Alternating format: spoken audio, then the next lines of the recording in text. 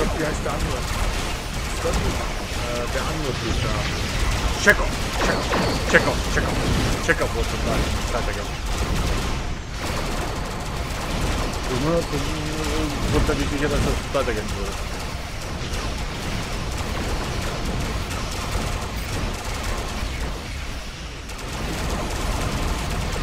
Warum kann ich mir neue Konsolen kaufen? Ich werde dann heute nämlich nicht die Lithium ausgeben. Ich brauche etwa 15.000 Lithium heute für meinen, für meinen, äh, hier für diesen Ding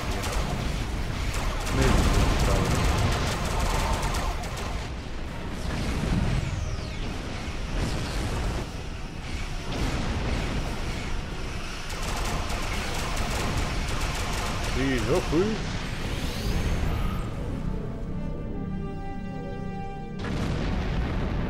wollte schon sagen, hast nicht gesagt, du musst arbeiten. Na toll, ich könnte es jetzt noch mir lesen, du Arsch. Doch wahr. Du hast einfach gedrückt. Arschgeige. Endlich sind wir zu Hause. Admiral, ich kann Ihnen nicht genug danken für alles, was Sie getan haben. Wie oft haben Sie Ihr Leben für die Föderation riskiert? Immer auf der Suche nach einer friedlichen Lösung. Sie haben wahrlich die Tradition der Sternflotte in besten Ehren gehalten. So schließt sich der Kreis. Sie können auf die Schleife zurückkehren und ich bin einfach froh, wieder da zu sein, wo ich hingehöre. Ich würde Sie einladen, länger auf Deep Space Nine zu bleiben, aber ich habe das Gefühl, dass Sie nicht länger auf der Raumstation die Beine in dem Bauch stehen möchten. Sie müssen raus in den Raum. Sie sind hier natürlich jederzeit willkommen. Ich hoffe, wir werden uns eines Tages bei einer Tasse Ractagino an die alten Zeiten erinnern. Nach allem, was wir durchgemacht haben, will ich die Propheten bitten, über sie zu wachen. Es gibt ein altes Sprichwort über die Aufmerksamkeit jener, die an höheren Orten leben. Machen Sie es gut, Admiral, und viel Glück. Auf Wiedersehen, Captain.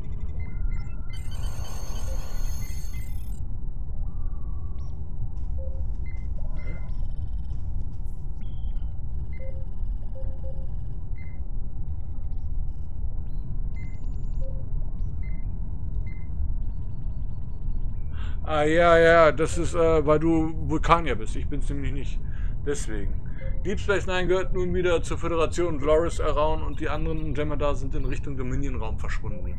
Dies ist das beste Ergebnis für die Föderation und könnte eine Tür für zukünftige diplomatische Beziehungen mit dem Dominion öffnen. Auch wenn es schade ist, dass sie gegen Karukan kämpfen mussten, hat ihr mutiger Vorschuss auf Deep Space Nine doch seine Kräfte erschöpft und der Flotte die Zeit verschafft, die sie brauchte. Ich gratuliere Ihnen zu Ihrem Mut und Ihrer Entscheidungskraft. Es war eine Ehre, mit Ihnen zu dienen, Admiral. Vielleicht werden wir irgendwann wieder zusammenarbeiten.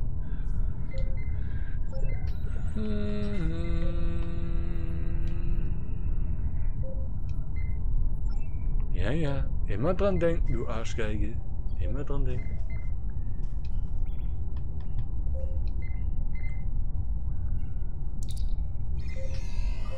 Ich habe natürlich das Jem'Hadar-Shit genommen, was ich da kriegen kann, ne? ist ja klar. Das andere ist ja alles blau. Ich denke mal, das hast du schon einmal, aber wahrscheinlich niedriger. Hier spricht das Kontrollzentrum der Station von Deep Space Nine. Slifer, können Sie mir jetzt einblasen? Stimmt, geht ja gar nicht. So, damit habe ich dieses scheiß Ding endlich fertig. Da bin ich richtig glücklich. Jo, jo, mach ruhig. Musst du bist denn? Ich mache jetzt urkonische Rückschlüsse.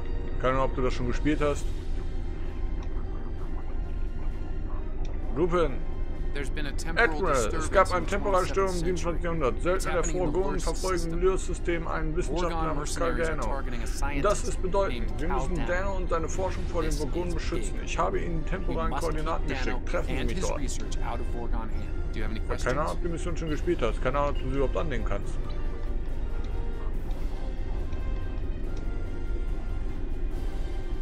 Ja. Oh, egal, wird ja sowieso auch sein. Ja, ist egal. Ich mache mogonische Rückschlüsse. Und danach geht's weiter mit dem Brin. Diese Brin-Story. Freue ich mich schon drauf.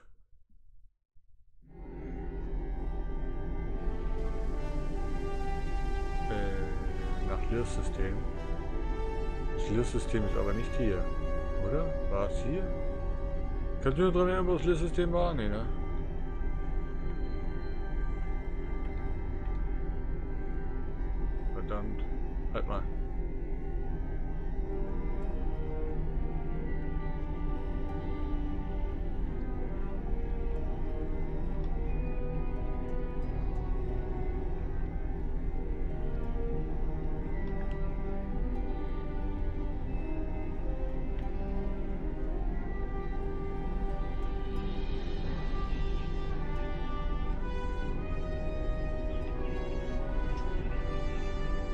Also Alpha-Quadrant ist nicht, dann ist es.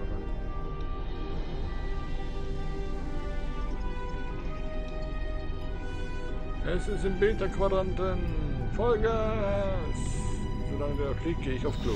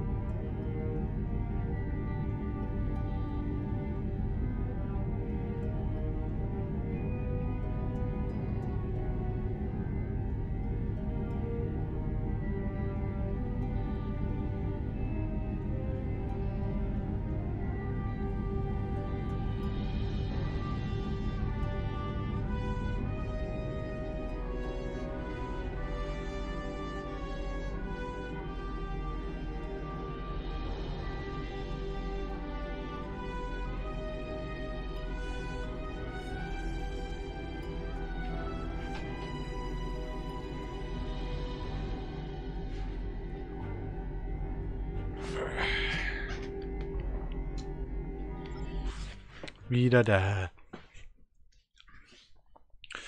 Gott sei Dank, Mann.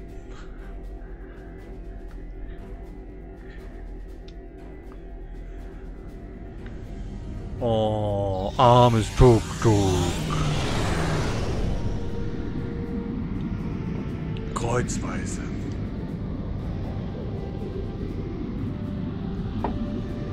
Aber ich werde äh, die Arena von Sompek äh, wahrscheinlich probieren, bis ich es so weit schaffe, wie es nur geht beim ersten Mal.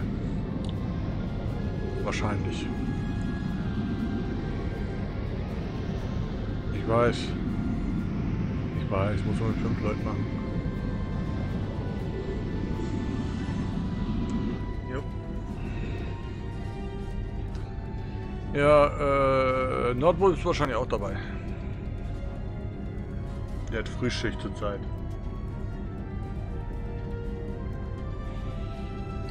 Ja, ist klar. Hast eben, hast eben äh, hier Dingsbums. Ich bin sowieso erst gegen Abend fertig mit meinen täglichen. Also, passt schon.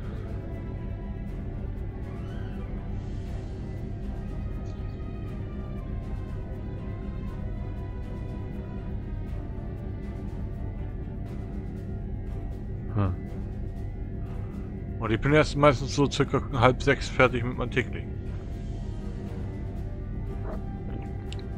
Aber dadurch, dass jetzt Dingsbums äh, einfach nur beschissen gewesen ist, die Wartung heute, die hat ja ewig gedauert. Dadurch, äh, ja, dadurch kann ich jetzt um 15 Uhr irgendwas mal täglich machen. Das heißt, ich werde wahrscheinlich ein bisschen später als halb sechs sogar erst fertig werden. Aber gut, egal, Pech. Muss man mit leben. Oder sterben. Blöde Arschgeige, da kommt ihr Headset und tritt ihr in den Hintern.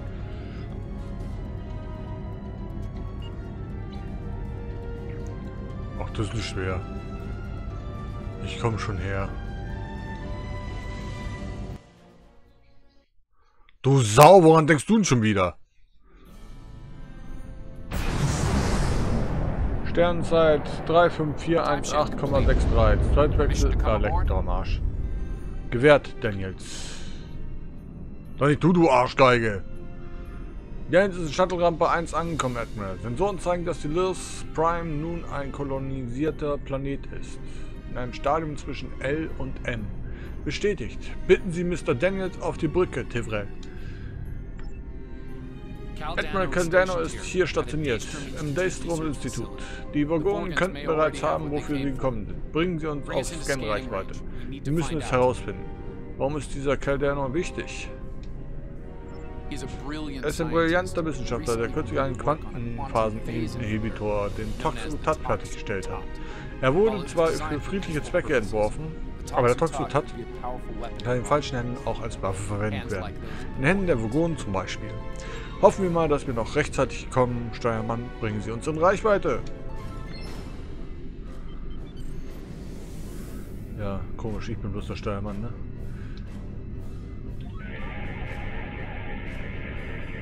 Die vorläufigen Scans sind sauber. Kein Zeichen von Calderno oder den Toxotat auf dem Burgonenschiff. Sie scheinen auf gelbem Alarm zu sein. Sind auf Ärger aus, Admiral. Einige Burgonen könnten sich auf dem Planeten befinden und Calderno verfolgen. Informieren Sie mich, wenn sich etwas ändert. Es ist wahrscheinlich, dass sie sich die Quorgonen Caldernos Forschungseinrichtung sind und sie durchsuchen. Ich werde hierbei die Führung übernehmen. Wir müssen hier die Vogonen im Auge behalten. Sie könnten Verstärkung schicken oder aus dem Orbit feuern. Verstanden. Steuermann, bringen Sie uns in die Transporterreichweite.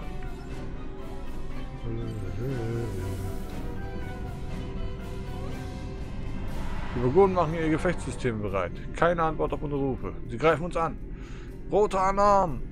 Alle Mann auf Gefechtsstation! Die Vogonen haben Caldano umkreist. Greifen sie an! Arschgeige nicht dabei. Greifen sie nicht an.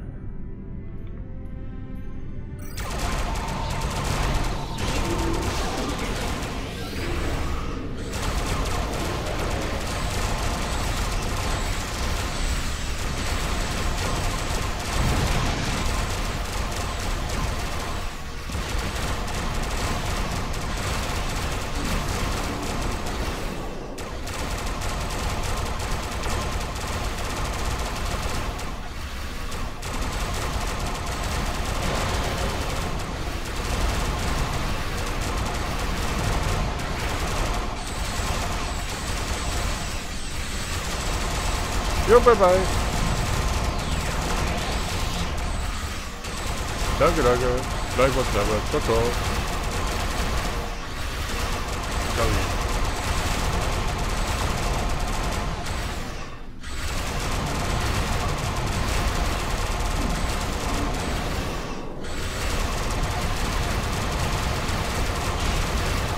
Die Boden haben sich nach unserer Meinungsverschiedenheit rausgebeamt.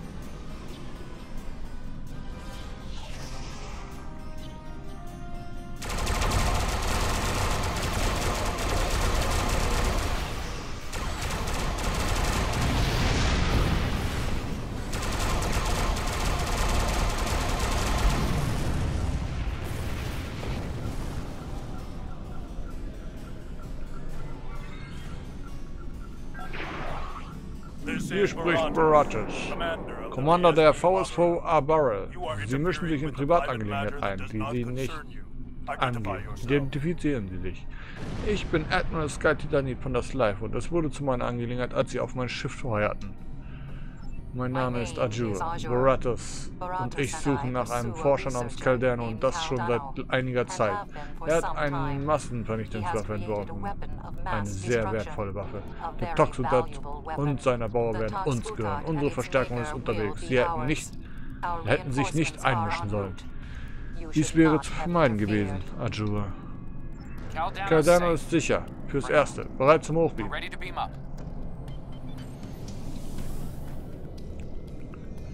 Mehrere temporale Warp-Segmente an.